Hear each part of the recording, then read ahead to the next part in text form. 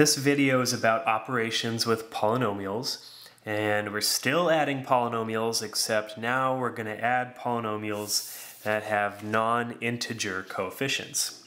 So let's look at polynomials where we have fractions for coefficients or maybe we could call these rational numbers. Okay, so we want to find the sum of these two polynomials and this one is 3 fourths x squared plus 1 eighth x minus 1 third plus, and then this polynomial is 2 thirds x squared minus a half x minus 2 fifths.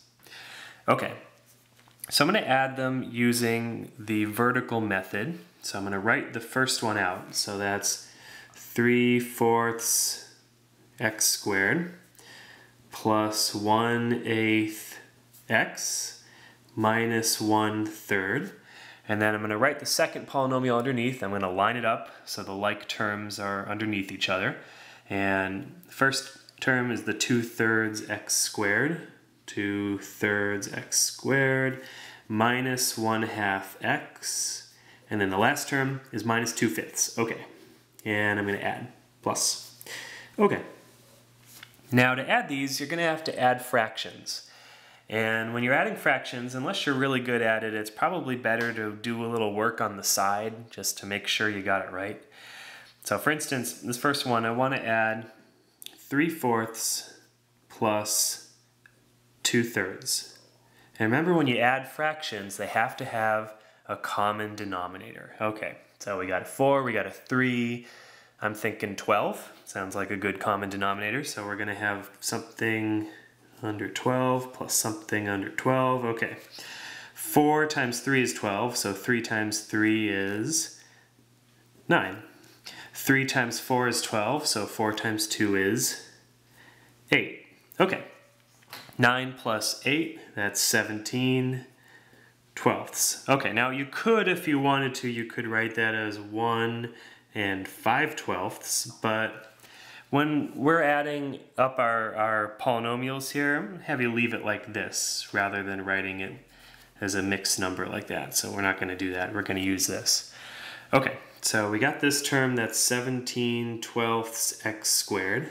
Okay, next we have 1 eighth minus 1 half. Okay, so I think the common denominator here is 8. So we already have an 8 here, so that's going to stay 1 eighth. And this is going to get an 8. And 2 times 4 is 8. 1 times 4 is 4. And then 1 minus 4, that's negative 3 eighths. Now you could put the negative in the numerator, make it negative 3 over 8. But it's just the same thing to put the negative out front. Doesn't really matter. You can write it either way. Okay, so we got negative 3 eighths. Negative 3 eighths x. Okay, last one. Negative one third minus two fifths. Okay, negative one third minus two fifths. Let's see, common denominator between three and five is 15. Okay, so we're gonna have something with a 15, something with a 15. Okay, three times five is 15, one times five is five. 5 times 3 is 15, 2 times 3 is 6, and then negative 5 minus 6 is negative 11, so that's negative 11 fifteenths. And that is the constant term, negative 11 fifteenths.